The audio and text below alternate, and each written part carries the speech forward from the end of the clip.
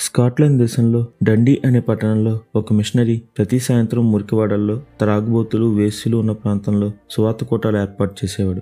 అలానే ఒకరోజు సువాత చేసి వెళ్తూ తన ఎదురుగా ఉన్న ఒక యువకుడు నడుస్తూ ఉండగా అతని భుజంపై చేయి వేసి నేను ఈ దారిలోనే వెళ్ళాలి. పద మనం ఇద్దరం కలిసి నడుద్దామని అతనితో నీ ఆత్మీయ స్థితి ఎలా ఉంది? అని ప్రశ్నించాడు. దానికి అతడు బాగానే ఉంది అన్నాడు. దానికి ఆ మిషనరీ నీవు రక్షణ పొందావని ఎలా నిశ్చేత పొందావు? అని అడిగాడు. ఆ ప్రశ్నకు ఆ యువకుని వద్ద సమాధానం లేదు. నెమ్మదిగా ఇద్దరు నడుచుకుంటూ వెళ్తున్నారు. ఇంతలో ఒక బావి వద్ద ఎవరో ఉంటే వారిని పలకరించడానికి ఆ మిషనరీ ఆగాడు. ఇదే సమయం ఇక్కడి నుండి పారిపోదామని ఆ యువకుడు అనుకున్నాడు కానీ అతని వల్ల కాలేదు. మరలా ఆ మిషనరీ ఆ యువకుడి దగ్గరకు వచ్చి ఎప్పుడైనా ప్రార్థన చేశావా? అని అడిగాడు. దానికి అతడు హా పరలోక ప్రార్థన చేశా అన్నాడు. దానికి ఆ మిషనరీ మరి నీకు శుద్ధ హృదయం కావాలని ప్రార్థించలేదా? అనగా లేదు అన్నాడు. ఇలా ఆ మిషనరీని ఆ యువకుడు విడిపోకముందు అతడు తప్పక శుద్ధ హృదయం కోసం ప్రార్థిస్తా అని చెప్పి వెళ్ళిపోయాడు. ఆ రాత్రి నిద్రపోదామంటే ఆ యువకుడికి నిద్ర రావడం లేదు. లేచి ప్రార్థించడం ప్రారంభించాడు. కానీ ప్రశాంతత లేదు. ఉదయం ఆ మిషనరీ నుండి పారిపోదాం అనుకున్న అదే యువకుడు ఇప్పుడు ఆ రాత్రి నుండి మరలా ఆ మిషనరీని కలిస్తే బాగుండును అనుకుని తెల్లవారుజామునే ఆ మిషనరీని వెతకడం ప్రారంభించాడు. నిజానికి ఆ మిషనరీ ఆ రాత్రంతా కన్నీటితో ఆ యువకుని రక్షణ కోసం ప్రార్థిస్తున్నాడు. నెమ్మదిగా యువకుడు ప్రతిదినం ఆ మిషనరీ మాటలు వినడానికి వస్తున్నాడు. కానీ ఇంకా రక్షణ అనుభవాన్ని పొందలేదు. అతడు విశ్వాసం ద్వారా కృపచేతన రక్షణ అనే వాక్యం చెప్తుంటే దానిని నమ్మలేకపోతున్నాడు. ఇలా ఉండగా ఆ మిషనరీ తన చేతులతో ఒక ఉత్తరం రాసి ఆ యువకుడికి ఇచ్చారు. దానిని ఎంతో ఆనందంగా తీసుకున్న ఆ యువకుడితో ఆ మిషనరీ ఈ ఉత్తరం రాసింది నేనేనని నువ్వు నమ్ముతున్నావా అని అడిగారు. దానికి అతడు నమ్ముతున్నాను అని చెప్పాడు. అప్పుడు ఆ మిషనరీ మరలా అయితే దానిలో ఉండేదంతా నిజమే అని నమ్ముతున్నావా? అని అడగ్గా అందుకు ఆ యువకుడు ఖచ్చితంగా ఎందుకంటే ఇది మీరు రాశారు కాబట్టి అన్నాడు. అందుకు ఆ మిషనరీ చూసావా ఒక సామాన్యమైన వ్యక్తిని నేను రాసిన ఉత్తరం నువ్వు నిజమని నమ్మగలుగుతున్నావు. కానీ దేవుడు రాసిచ్చిన వాక్యంలో కృప ద్వారా విశ్వాసం వలన రక్షణ అంటే నమ్మలేకపోతున్నావు అని చెప్పగానే ఆ యువకుడిలో వెంటనే పశ్చాత్తాపం కలిగి ఆ క్షణమే రక్షణానందాన్ని పొందగలిగాడు. ఇంతకీ ఇలా ప్రతిరోజు మురికివాడలో సువాత చేసిన ఆ మిషనరీ ఎవరనుకుంటున్నారు? అతడు కూడా ఒక భవన నిర్మాణ కూలీగా పనిచేసే ఒక అతిపేద సామాన్య వ్యక్తి. ఒకప్పుడు పచ్చి తాగుబోతూ గొడవలు పడి జైలుకు కూడా వెళ్ళినవాడు. కానీ ఒకరోజు దేవునిచే పట్టబడి కృప ద్వారా విశ్వాసం వలనే రక్షణ అని విశ్వసించి రక్షించబడ్డాడు. అంతేకాదు ఆ దినం నుండి జీవితాంతం వరకు ఉదయం అంతా కష్టించి కూలి పని చేసి సాయంత్రాల్లో మురికివాడల్లో సువాత చేసేవాడు. ఇలానే సేవ చేస్తూ కేవలం ముప్పై మూడు సంవత్సరాల వయసులోనే ఈ లోకం వీడి పరలోకం ఎక్కిపోయాడు. అతడే రాబర్ట్ యానన్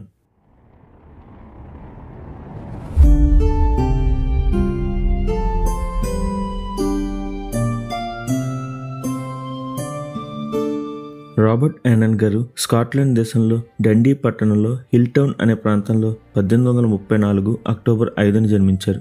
ఈయన తండ్రి ఒక భవన నిర్మాణకుడు. రాబర్ట్ గారు జన్మించిన సంవత్సరానికి ఆ పట్టణ జనాభా తక్కువ కావడం మంచిగా పనికి అవకాశాలు ఉండడంతో వీరి కుటుంబం ఏ లోటు లేకుండా ఉండేది.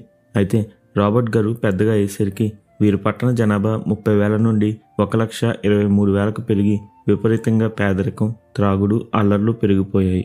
రాబర్ట్ గారు చిన్నప్పుడు చాలా చలాకీగా ఉండేవారు. ఈయన మంచి ఈతగాడు. ఈయనకు ఈత కొట్టడం అంటే ఎంత ఇష్టం అంటే మంచు కురిసి నీళ్ళు గడ్డగట్టకపోయినా సరే ఇంటిలో ఎవరికీ తెలియకుండా స్నేహితులతో నది వద్దకు వెళ్ళి ఈత కొట్టేవారు. ఇదిలా ఉండగా ఎదుగుతూ ఉండగా ఈయన దుష్ట స్నేహం మొదలుపెట్టి చెడు వ్యసనాలకు త్రాగుడుకు బానిసయ్యాడు. ఎప్పుడూ ఏదో ఒక గొడవ పడుతూ ఒక రౌడీ మొక్కను వేసుకుని దానికి నాయకుడిగా తిరిగేవాడు. అంతేకాదు చాలా చిన్న వయసులోనే బాగా త్రాగి ఒక మద్యం దుకాణం వద్ద గొడవపడి మూడు నెలలు జైలు శిక్ష అనుభవించాడు. జైల్లో ఉన్నప్పుడు తాను మారిపోయి మంచిగా ప్రవర్తిస్తానని వాగ్దానం చేసి మరలా బయటకు వచ్చి అదే రీతిగా ప్రవర్తించేవాడు. దీంతో కొడుకు ప్రవర్తన చూసి తండ్రి ఈయనను మొదట ఇక్కడి నుండి దూరంగా పంపించేస్తే దుష్ట స్నేహం వీడి సరవుతాడనుకుని కొంత డబ్బు చేతికిచ్చి అమెరికాకు వాడలో పంపివేశాడు. అయితే మార్గం మధ్యలో వాడ పగిలి వెంటుకు వరుసలో రాబర్ట్ గారు మరణం తప్పించుకున్నారు. చివరికి ఒడ్డుకు చేరి అమెరికాకు చేరుకున్నారు. ఇక్కడ కూడా ఇదే ప్రవర్తన. అలాగే అమెరికాలో కూడా గొడవలకు వెళ్ళి జైలు పాలయ్యారు. ఆ తర్వాత బయటకు వచ్చాక తాగుడు వ్యసనాలతో డబ్బంతా పూర్తి చేసుకుని రోడ్డున పడ్డారు. ఇతడు ఎంతగా త్రాగేవాడంటే ఒకరోజు బాగా తాగి మైకంలో వెళ్ళి రైలు పట్టాలపై పడుకున్నారు. దేవుడు ఉదయం వరకు ఏ ప్రమాదం జరగకుండా ఈయన కాపాడారు. ఆ తర్వాత డబ్బులు లేక ఉత్తరంగా కెనడా వైపు ప్రయాణిస్తుండగా ఒక వ్యక్తి చేర్చుకుని పందుల మేపు ఉద్యోగం ఇచ్చాడు. దాని నుండి బ్రిటిష్ సైన్యంలో ఉద్యోగంలో చేరారు. వీరు ఇంగ్లాండ్ వచ్చి శిక్షణా సమయంలో ఉండగా క్రమశిక్షణ జీవితానికి తాళలేక అక్కడి నుండి పారిపోయి లండన్ వచ్చేశారు. ఇక్కడ నావికా దళంలో చేరారు. అయితే వీరు జీబ్రాల్టన్ ప్రయాణమయ్యి అక్కడ ఓడ ఆగి ఉండగా పూర్వం పారిపోయిన బ్రిటిష్ సైన్యం వారు కూడా అక్కడే ఉన్నారు. ఇలా తనకు పెద్ద చిక్కు వచ్చి పడిందని ఎలా తప్పించుకోవాలో తెలియక తన పై అధికారికి విషయం అంతా చెప్పగా అతడు ఉద్యోగం నుండి రాబర్ట్ గారిని డిస్మిస్ చేశాడు. చివరికి రాబర్ట్ గారికి బుద్ధి వచ్చింది. తన తండ్రికి ఉత్తరం రాశాడు. ఆయన తన కుమారుడు మార్పు చెందాడు అనుకుని ఇంటికి రావడానికి రాబర్ట్ గారికి డబ్బులు పంపాడు. ఇంటికి వచ్చిన రాబర్ట్ గారు నేను మారిపోయాను అని చెప్పి చాలా ఆనందపడ్డారు. తన పాత జీవితాన్ని జయించినందుకు చాలా గర్వపడ్డారు. అయితే ఒకరోజు సారాయి దుకాణం వద్ద ఉన్న తన స్నేహితుడిని తీసుకురావడానికి రాబర్ట్ గారు వెళ్ళవలసి వచ్చింది. ఆ త్రాగుబోతు స్నేహితుడు రాబర్ట్ గారిని ఒక్కటంటే ఒక్క గ్లాస్ తీసుకోమని బలవంతం చేశాడు. ఎంతకీ రాబర్ట్ గారు తీసుకోకపోయేసరికి నువ్వు నిజంగా మారిపోయి ఉంటే ఒకే గ్లాస్ సారా త్రాగి ఆగి చూపించు అన్నాడు. దాంతో ఒక్క గ్లాస్ అని రాబర్ట్ గారు ఆ సవాలు గెలుద్దాం అనుకుని చివరకు ఆ రాత్రంతా ఆ సారా దుకాణం వద్ద తప్పతాగి పడిపోయారు. ఉదయాన్నే లేచి రాత్రి తాను చేసిన పనికి చాలా సిగ్గుపడ్డాడు. తనకు తానే మారిపోయానని ఎంతో గర్వపడ్డ రాబర్ట్ గారు ఇక తాను మారలేనని నిరాశపడిపోయారు. సరిగ్గా ఇదే సమయంలో వీరి ప్రాంతంలో డంకన్ అనే దైవజనుడు సువాత కూడుకులు ఏర్పాటు చేశారు. అందరూ వెళ్తున్నారు కదా అని రాబర్ట్ గారు కూడా ఇక్కడ ఏమైనా ప్రశాంతత దొరుకుతుందని వచ్చారు. కానీ దానికి భిన్నంగా ప్రసంగం పూర్తి అయ్యేసరికి హృదయం అంతా బరువైపోయింది. ఇంటికి వెళ్ళినా నిద్ర పట్టలేదు. ఆ అర్ధరాత్రి వేళ ఏం చేయాలో తెలియక తన స్థితిని చెప్పడానికి దగ్గరలో ఉన్న పాస్టర్ జాక్ మ్యాకర్షన్ గారి వద్దకు వెళ్ళి ఆయన ఇంటి తలుపు కొట్టాడు. ఆ అర్ధరాత్రి వేళ ఎత్తైన దృఢమైన వ్యక్తి తన గుమ్మం ముందు నిల్చుని ఉండడం చూసి ఆ పాస్టర్ గారు మొదట భయపడ్డారు. కానీ అపోస్తుల కార్యం పదహారు ముప్పై వచనంలో ఆ చెరసాల నాయకుడు అయ్యలారా రక్షణ పొందుటకు నేనేమి చేయాలి? అని పౌలుశీలను అడిగినట్టే రాబర్ట్ గారు ఆ పాస్టర్ గారిని అడిగాడు. అప్పుడు అచ్చంగా పౌలుశీలలు చెప్పినట్లే అతడు ప్రభు అయిన యేసునందు విశ్వాసం ఉంచు అప్పుడు నీవు రక్షించబడతావు అని అతనికి సువాత చేశారు. అయితే ఆ దినాన్న ఆ చరసాల నాయకునికి వెంటనే శాంతి లభించింది. కానీ రాబర్ట్ గారికి ఇంకా శాంతి లభించలేదు. అతడు ఆ మాటలు విని ఆలోచిస్తూ ఏకాంతంగా ఒక కొండపైకి వెళ్ళి ప్రార్థన చేద్దాం అనుకున్నారు. కానీ అది అతని వల్ల కాలేదు. మరోపక్క సాతాను హృదయంలో దగ్గరలో అడవిలోకి వెళ్ళి ఆత్మహత్య చేసుకోమని రాబర్ట్ గారిని బలవంతం చేస్తుంది. చివరికి తన ఇంటికి దగ్గరలో ఒక గడ్డి గోదాం ఉంటే దానిలోకి వెళ్ళి రాబర్ట్ గారు ప్రార్థన చేయడం ప్రారంభించారు. ఆ రాత్రి నుండి ఏకదాటిగా పదమూడు గంటల పాటు ప్రార్థనలో గడిపారు. ఒక పక్క ఇంటిలో తండ్రి చెల్లి ఈయనను వెతకడం ప్రారంభించారు. చివరికి గడ్డి గోదాం దగ్గర రాబర్ట్ గారిని కనుగొన్నారు. రాబర్ట్ గారిని చూసి వారు ఇంటికి రమ్మని కోరారు కానీ రాబర్ట్ గారు అంగీకరించలేదు. అక్కడే మూడు దినాలు నిలిచి నిద్ర ఆహారాలు మాని ప్రార్థనలో దేవుని సన్నిధిలో కనిపెడుతూనే ఉన్నారు. తనకు ఆకాశం నుండి ఏదైనా ఒక స్వరం వినబడి నీ పాపాలు క్షమించబడ్డాయి అని చెప్తుంది అని రాబర్ట్ గారు ఎదురు చూస్తున్నారు కానీ అలా జరగలేదు. కానీ ఇద్దరు యవనస్తులు రాబర్ట్ గారి వద్దకు వచ్చి రాబర్ట్ నువ్వు దేవుడు ఆకాశం నుండి నీకేదో సూచన చూపాలని ఆయన స్వరం వచ్చి నీ పాపాలు క్షమించింది అని చెప్పాలి అని అనుకుంటున్నావు. కానీ బైబిల్లో యేసునందు విశ్వాసం ఉంచితే రక్షించబడతావని యేసు ప్రభు తన వద్దకు వచ్చేవారిని ఎంతమాత్రం తోసివేయడని చెప్తున్నాడు. మరి ఆ మాటలు నువ్వెందుకు నమ్మలేకపోతున్నావు? అని చెప్పి అక్కడి నుండి వెళ్ళిపోయారు. రాబర్ట్ గారు మరో మూడు దినాలు అలాగే అక్కడే ఉన్నారు. ఆ తర్వాత ఒక్కసారిగా మదిలో వారి మాటలు మరలా గుర్తుకొచ్చాయి. ఆలోచిస్తే అది దేవుడు తనతో మాట్లాడిన మాటలే అని అర్థమైంది.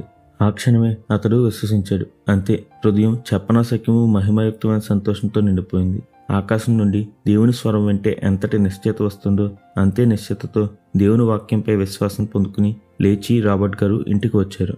ఆ దినమే రాత్రి తన ప్రాంతంలో జరుగుతున్న ఒక కూడికకు అతడు బయలుదేరాడు. ఈసారి ఇది సువాత కూడిక కాదు. తాను విశ్వసించిన తనను రక్షించిన దేవుని బైబిల్కు వ్యతిరేకంగా ఏర్పాటు చేసిన కూడిక. రాబర్ట్ గారు ఆ కూడికి బయట తలుపు వద్ద నిల్చుని లోపలికి వెళ్తున్న వారికి సువార్త కరపత్రికలు పంచుతున్నాడు. తనను రక్షించిన క్రీస్తు ప్రేమను గురించి వివరిస్తున్నాడు.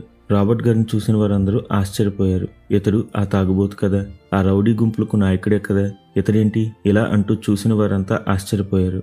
ఆ దినం నుండి ప్రతిదినం తాను చేస్తున్న భవన నిర్మాణ పనులు పూర్తి చేసుకుని రాబర్ట్ గారు సాయంత్రం వేళల్లో మురికివాడల్లో తాగుబోతుల మధ్య పేదవారికి వ్యాధిగ్రస్తులకు సువార్త చేసేవారు. ఇలాగే దేవునిపై ఆసక్తి కలిగి ఉన్న యువతకు నాయకుడయ్యాడు. ప్రతి వారం ఒకరోజు వీరందరూ కలుసుకుని వారంలో జరిగే కార్యాచరణ గురించి చర్చించుకునేవారు. రాబర్ట్ గారు ప్రతిరోజు సాయంత్రం వేళ ఏదో ఒక ప్రాంతంలో సువార్త చేసేవారు. రాత్రులు త్రాగుబోతులు వ్యభిచారులు ఉన్న ప్రాంతాలకు వెళ్ళి వారికి ఎలాగైనా దేవుని ప్రేమను గురించి తెలియజేయాలని వారికి సహాయం చేయాలని తాపత్రయపడేవారు. ఒక్కొక్కసారి సువార్త చేస్తూ పదిహేను రోజుల పాటు పనికి వెళ్ళలేకపోయేవారు. ఆ సమయంలో దాచుకున్న కొద్దిపాటి డబ్బును వాడుకునేవారు. అంతేకాదు ఒక్కొక్కసారి ఉదయం నాలుగు గంటలకే నిద్ర లేచి పనికి వెళ్ళి సాయంత్రం పక్కగామాలో సువార్తకు వెళ్ళేవారు. పనిలో బాగా అలసిపోయినా విశ్రాంతి తీసుకోక ఏ వాహన సదుపాయం లేకుండానే నడుచుకుంటూ వెళ్ళేవారు. కొన్ని గ్రామాలు దూరంగా ఉండడంతో పరువు పెట్టుకుని కూడా వెళ్ళేవారు. ఒకప్పుడు తాను త్రాగుబోతుగా ఉండి పిచ్చిపాట్లు పాడి ప్రజలను నవ్వించి ఎగతాళి చేసిన ప్రాంతాలకు వెళ్ళి చూడండి ఒకప్పుడు నేను త్రాగుబోతుగా పిచ్చిపాట్లు పాడుతూ ఎగతాళి చేస్తూ మిమ్మల్ని అందరినీ నవ్వించాను. కానీ ఇప్పుడు నేను ఆ పాటలు పాడను కానీ దేవుని పాటలు పాడతా. ఆ దేవుడు నన్ను రక్షించాడు. అదే దేవుడు మీ జీవితాల్లో కూడా కార్యం చేయాలని నేనెంతో ఆశపడుతున్నాను అని సువార్త చేసేవాడు. రాబర్ట్ గారి సువార్తను మొదట ఎవరూ అంగీకరించలేదు. ప్రతిసారి ప్రతికూలతలు హేళనలు చేసేవారు. కొన్నిసార్లు కొట్టేవారు కూడా. కానీ తనను కొట్టినా సరే రాబర్ట్ గారు ఎదురు మాట్లాడక అక్కడి నుండి నెమ్మదిగా నడుచుకుంటూ వెళ్ళి ఒంటరిగా ప్రార్థించేవారు. అదే పూర్వం ఉన్న రాబర్ట్ గారు అయితే వారి అంతు చూసే వరకు ఊరుకునేవాడు కాదు. చివరికి ఈయన ప్రయత్నం వ్యర్థమైపోయిందని దేవుడు నాకు తోడులేడు అనుకునే సమయంలో ఒక యవనస్తుడు మార్పు చెందాడు. నెమ్మదిగా ప్రజలు ఇతడు చెప్పే మాటలు వంటకు ఆసక్తి చూపి తమ జీవితాలలో దేవుని ప్రేమకు చోటిచ్చేవారు. ఇలా కూలి పని చేసుకుంటూ సువార్త చేయడమే గాక రాబర్ట్ గారు తమ ప్రాంతాల్లో ఉన్న టే అనే నదిలో మునిగిపోతున్న పన్నెండు మందిని రక్షించారు. వీరిలో ఈయన తమ్ముడు ఎబినేజర్ ఒక పెద్ద వేసి కూడా ఉంది. ఒకరోజైతే ఇద్దరిని నదిలో నుండి రాబర్ట్ గారు కాపాడారు. ఈయన సేవలకు మెచ్చి దండి మానవతా సేవా సమితి వారు ఈయన సత్కరించి రెండు పౌండ్లు బహుమతి ఇవ్వగా ఒక పౌండ్ తన వద్ద ఉంచుకుని మరొకటి వారికి ఇచ్చేశారు.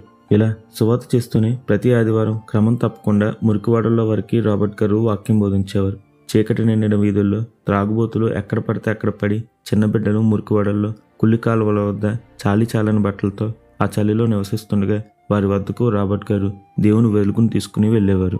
ఆ రోజు చలి బాగా వేస్తున్నా వర్షం వస్తున్నా తుఫాన్ అయినా మంచు మోకాళ్ళ లోతుల్లో పడినా రాబర్ట్ గారు మాత్రం ప్రతి ఆదివారం వారికి వాక్యం బోధించడానికి వెళ్ళేవారు. ఎంతగా ఆయన ప్రయాసపడేవాడు అంటే వాతావరణం ఎలా ఉన్నా ఏమి వచ్చినా రాకపోయినా రాబర్ట్ గారు మాత్రం తప్పక వచ్చి తమకు వాక్యం చెప్తారని అక్కడ పేద ప్రజలు నమ్మకం పొందేశారు.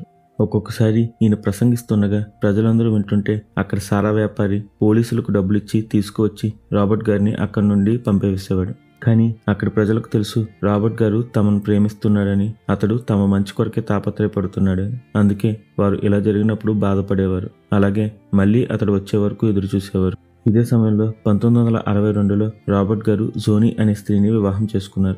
ఆ సమయానికే డండిలో జనాభా బాగా పెరిగిపోయింది. పేదరికం బాగా పెరిగింది. అయినా సరే రాబర్ట్ గారు ఒక మిషనరీగా స్టాన్ హ్యూవెన్ అనే ప్రాంతానికి వెళ్ళి పగలంతా కూలి పని చేస్తూ సాయంత్రాలు సువాత చేస్తూ ఉండేవారు.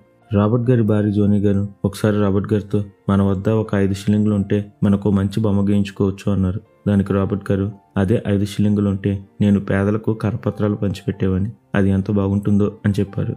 అలాగే రాబర్ట్ గారికి ప్రసంగించేటప్పుడు టోపీ చేతిలో పెట్టుకుని ప్రసంగించే అలవాటు ఉంది.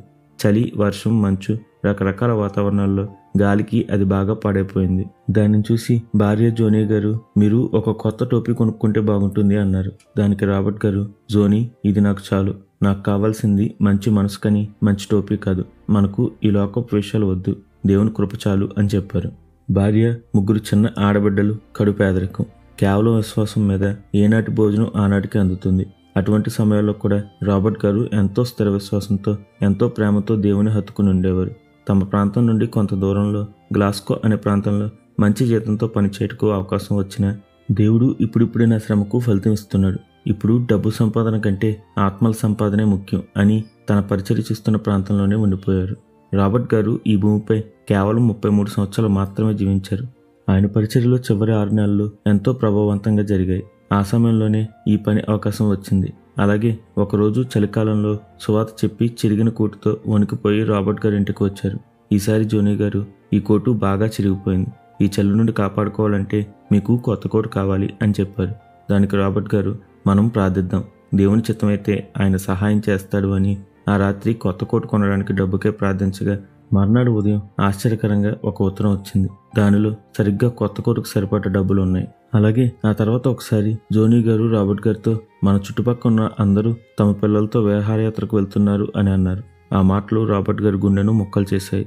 దేవా నీ చిత్తం అయితే నాకు మార్గం తెరవా అని ప్రార్థించగా ఆశ్చర్యంగా దేవుడు సహాయం పంపించారు.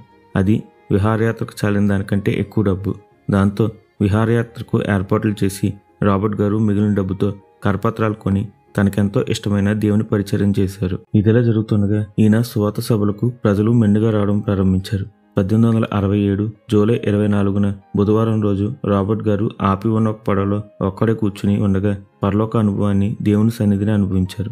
ఆ తర్వాత ఆదివారం ప్రసంగం చేస్తూ పోయిన బుధవారం నేను పరలోక అనుభవాన్ని పొందాను. బహుశా వచ్చే ఆదివారానికి నేను ఇక్కడ ఉండకపోవచ్చు. ఇదే నా ఆఖరి ప్రసంగం. ఆ అనుభవాన్ని క్రీస్తు ముఖాన్ని మీరు రుచి చూస్తే క్రీస్తును అంగీకరించని ఇప్పటి మీ బుద్ధిహీనతకు మీరు ఎంతో ఆశ్చర్యపోతారు అని చెప్పారు. అది పంతొమ్మిది వందల అరవై ఏడు జూలై ముప్పై ఒకటి బుధవారం. ఉదయం నాలుగు గంటలకే రాబర్ట్ గారు లేచి పనికి బయలుదేరారు.